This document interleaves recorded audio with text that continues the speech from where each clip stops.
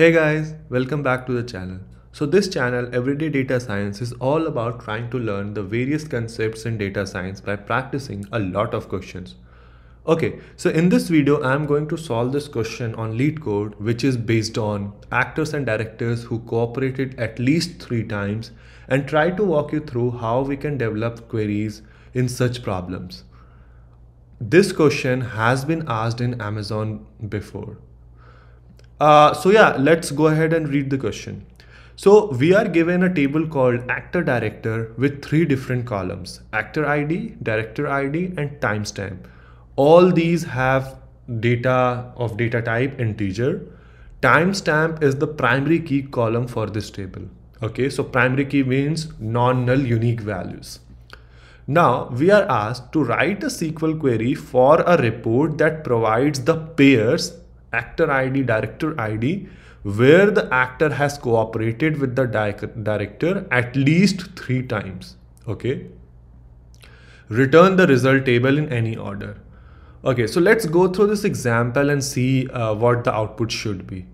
So actor ID, director ID, timestamp. So actor ID 1, 1, 0. So since 0, the third column is basically the timestamp or the primary key. So if you see actor 1 and director 1, so they have cooperated how many times? 1, 1, 1, 1, 1, 1. So 3 times.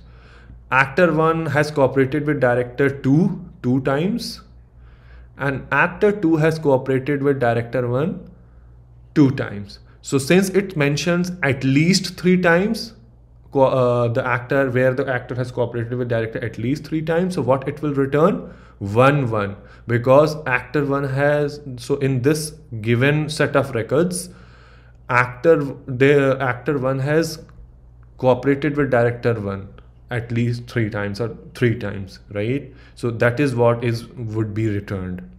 Okay. So let's go ahead and try to build this query so basically, if you think about it, uh, about the logic, we need to find or basically we need to group by these actor IDs for each of the actors, how many times the, they have interacted with the director. And only keep those rows where uh, that number of interaction is 3 or greater than 3 right? So let's start.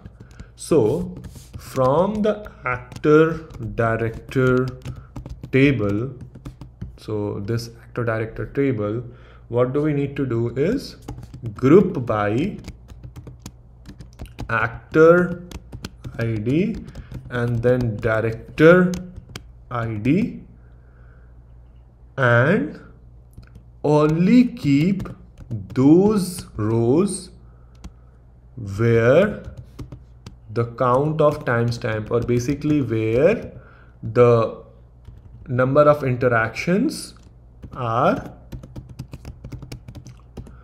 number of interactions or number of cooperations are at least three. Okay? So basically what it is doing is that so let's take this example right? So since in this entire thing we have two actors actor 1 actor 2 so firstly what it will do is actor 1 then for directors we have uh, director 1 director 2 right? So for actor 1 director 1 it will count 3 right? 0 1 2 so these these are the three different timestamps.